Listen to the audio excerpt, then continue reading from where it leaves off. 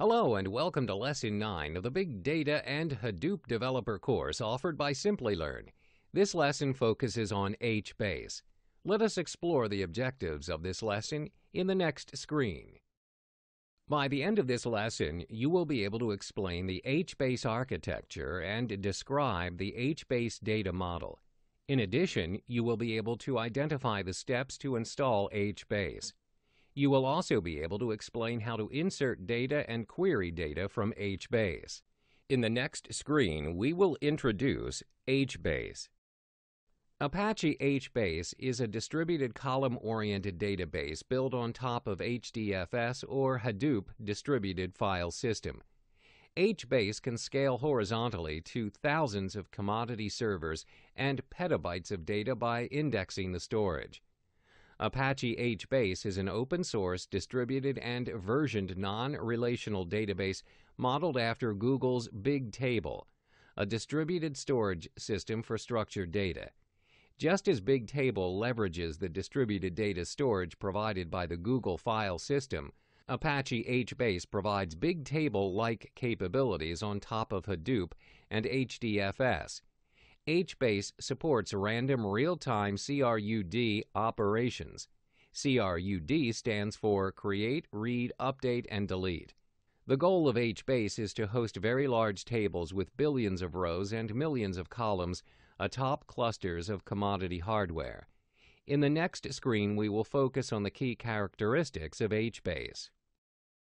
HBase is a type of NoSQL database and is classified as a key value store. In HBase, value is identified with a key. Both key and value are byte array, which means binary formats can be stored easily. Values are stored in key orders and can be accessed quickly by their keys. HBase is a database in which tables have no schema. Column families and not columns are defined at the time of table creation. In the next screen, we will focus on which companies use HBase. Some of the companies that use HBase as their core program are Facebook, Netflix, Yahoo, Adobe, and Twitter. In the next screen, we will focus on HBase architecture. HBase has two types of nodes, which are master and region server. There is only one master node running at a time, whereas there can be one or more region servers. The high availability of the master node is maintained with Zookeeper. The master node manages cluster operations like assignment, load balancing, and splitting. It is not a part of read or write path. The region server hosts tables, performs reads, and buffers writes. Clients communicate with region server for read and write. A region in HBase is the subset of a table's rows. The master node detects the status of region servers and assigns regions to region servers. In the next screen, we will continue to discuss the architecture of HBase. The image on the screen represents the HBase components, which include HBase master and multiple region servers. The HBase master is responsible for managing the schema that is stored in HDFS. Region servers act like availability servers that enable maintaining a part of the complete data stored in HDFS based on the requirement of the user. The region servers perform this task by using the hfile and write ahead log or WAL service. The region servers always stay in sync with the HBase master. It is Zookeeper that makes the region servers perform a stable sync with the HBase master. In the next screen, we will discuss the storage model of HBase. We will start with partitioning and follow up with persistence and data availability. In HBase, a table is horizontally partitioned into regions. Each region is composed of a sequential range of keys. Each region is managed by a region server. A region server may hold multiple regions. Now let us discuss persistence and data availability. HBase stores its data in HDFS. It does not replicate region servers and relies on HDFS replication for data availability. The region data is first cached in memory. Updates and reads are served from the in-memory cache called memstore. Periodically, memstore is flushed to HDFS. Write-ahead log, which is stored in HDFS, is used for the durability of updates. In the next screen, we will focus on the row distribution of data between region servers. The image on the screen describes the distribution of rows in structured data using HBase. It shows how the data is sliced and maintained in individual region servers, depending on the requirement of the user. This type of distribution ensures availability of data to a specific user. In the next screen, we will focus on the concept of data storage in HBase. Data is stored in files called H-files or store files that are usually saved in HDFS. H-file is a key value map generated due to the MapReduce operations performed by Hadoop. When data is added, it is written to a log called write-ahead log and stored in memory. This in-memory data store is called memstore. H-files are immutable since HDFS does not support updates to an existing file. To control the number of H files and keep the cluster well balanced, HBase periodically performs data compactions. In the next screen, we will discuss data model. The following are the features of the data model in HBase. In HBase, all tables are sorted by row keys. At the time of table creation, you need to define only its column families. Each family may consist of any number of columns. Each column consists of any number of versions. Columns only exist when inserted, while nulls are free. Columns within a family are sorted and stored together. Everything except table names is stored as a byte array. A row key, a column family with columns, and a timestamp with version typically identify a row value. Now let us discuss the other features of the data model. The starting identifier of the data model is a row key. Column families are associated with column qualifiers. Each row has a timestamp and an associated value. In the next screen, we will discuss when to use HBase. HBase is not suitable for every problem. HBase is used when you have enough data in hundreds of millions or billions of rows. It can be used when you have sufficient commodity hardware with at least five nodes. It is the developer's responsibility to evaluate HBase carefully for mixed workloads. Developers can use HBase for random selects and range scans by key. They can also utilize HBase when using the concept of variable schema.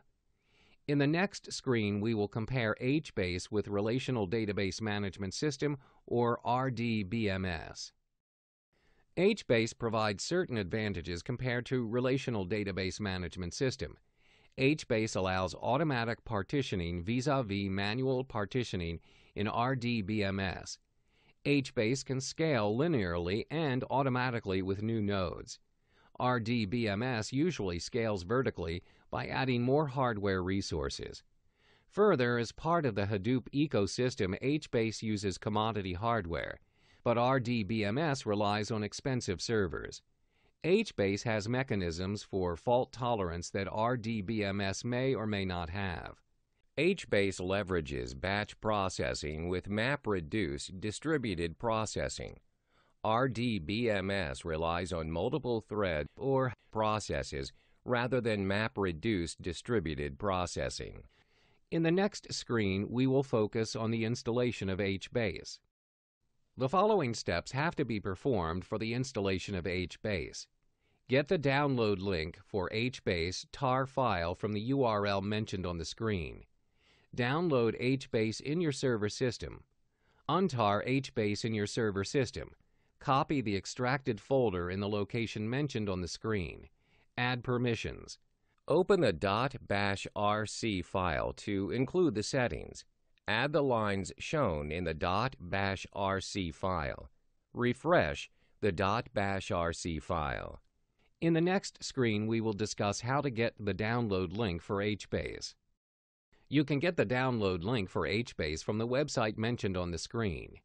In the next screen, we will focus on how to download and untar HBase in your server system.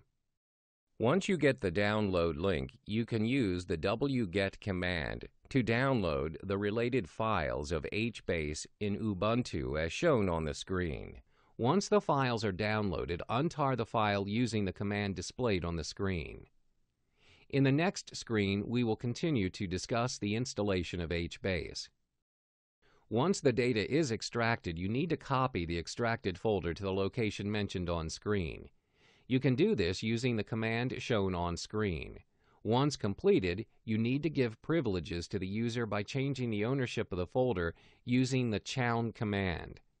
In the next screen, we will further discuss the installation of HBase. The next step is to open the .bashrc file and include the settings. This is done by altering the .bashrc file and adding two lines as shown on screen. In the next screen, we will continue to discuss the installation of HBase. Once the data is saved, the bashrc file should be refreshed using the command shown on screen. In the next screen, we will focus on how to configure HBase. You need to perform the steps as shown on the screen to configure HBase. We will discuss these steps in detail in the next screen. Configure the HBase environment and set the Java path to ensure that HBase has access to Java Virtual Machine or JVM as shown on the screen. In the next screen, we will continue to discuss the configuration of HBase. Open the XML file and type the XML code shown on screen. This will set the root directory, timer, and distributed file system interaction. In the next screen, we will further focus on how to configure HBase. Open the region server files as shown on the screen and add the IP address of the system which will act as region servers. Use the command shown on screen to start the HBase service that can be verified by typing the JPS command. In the next screen, we will discuss a business scenario on how to install and configure HBase. Mike has to analyze a large data set containing blog contents. Since the assignment is complex and such analysis may be required in the future, Mike decides to install and configure HBase. The demo and the subsequent screens illustrate how to install and configure HBase. In the next screen, we will look at a demo on HBase. This demo focuses on how to install and configure HBase. Visit the website hbase.apache.org. Click the Downloads link to get a download link for HBase. Click the suggested mirror link. Right-click the HBase 0.9 4.1 7 forward slash link to get the file listing for HBase version 0.94.17. Right-click the HBase 0.94.17.tar.gz and click the Copy Link Location menu item to copy the link in the clipboard.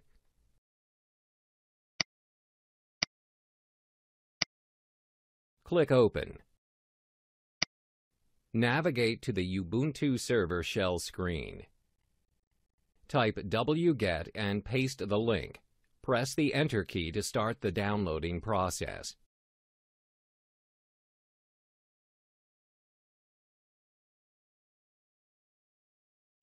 Use the command shown on the screen to untar the zip file once the download is complete.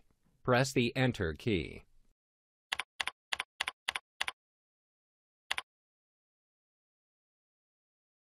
Copy the extracted folder in the location mentioned on the screen once untar is done.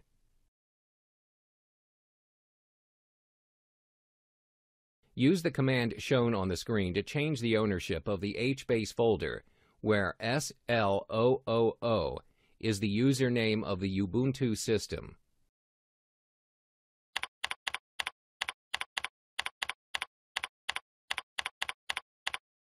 Use the command shown on the screen to edit the bash rc for adding hbase prefix. Press the Enter key.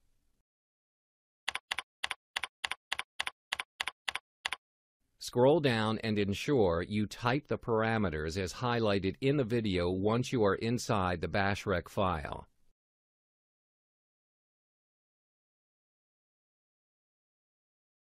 Open the hbase env.sh file as shown in the video to set the hbase environment file.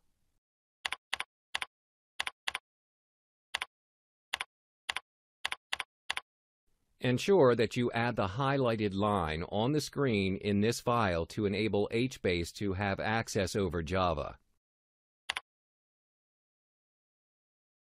Use the command shown on the screen to set up hbase-site.xml.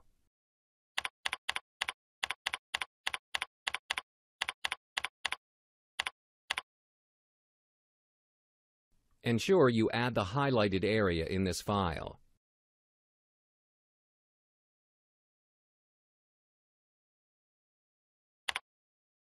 Use the command shown on the screen to set up region servers.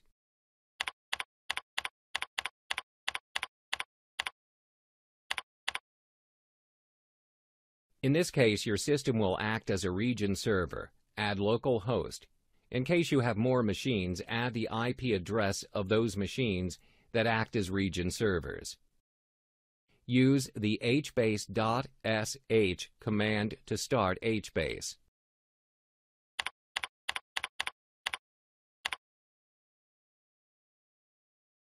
You can verify whether HBase is running or not using WebGUI by typing http colon forward slash forward slash IP address of the system 60010.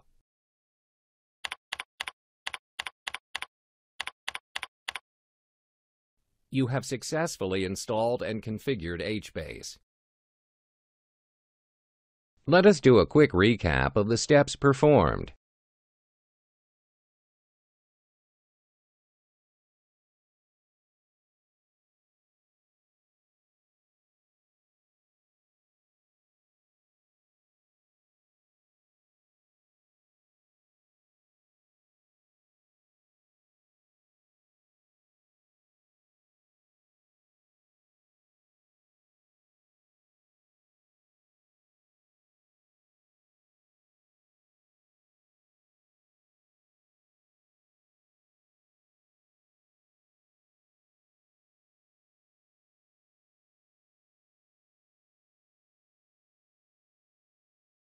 You can connect to HBase using any of the following media.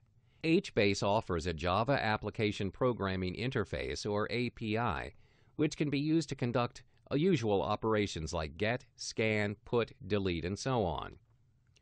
Non-Java clients can connect to HBase using Thrift Service or using REST services. HBase also offers a convenient shell built-in, JRuby, where a majority of operations including admin functions, can be performed from the command line. HBase can also be accessed via Hive, Pig, hcatalog, or Hue. In the next screen, we will focus on the HBase shell commands. Some of the common commands that can be used from HBase shell include create, which is used for the creation of a table, describe, which is used for describing the named table, disable, which is meant for disabling the table, drop, which is meant for dropping the table, list, which is used for listing the tables in HBase. In the next screen, we will further discuss the commands related to HBase shell. The table on the screen displays the other commands that can be used from HBase shell. These are count, which is meant for counting the number of rows in a table, delete, which is used for deleting a cell value, get, which that is used for getting the contents of a row or cell, put, which is meant for putting a cell value, scan, which is used for scanning a table's values. Let us summarize the topics covered in this lesson. HBase has two types of nodes, master and region server. Only one master node runs at a time, but there can be multiple region servers at a time. The data model of HBase comprises tables that are sorted by rows. The column families should be defined at the time of table creation. There are eight steps that should be followed for the installation of HBase. Some of the commands related to HBase shell are create, drop, list, count, get, and scan. In the next lesson, we will focus on the commercial distribution of Hadoop.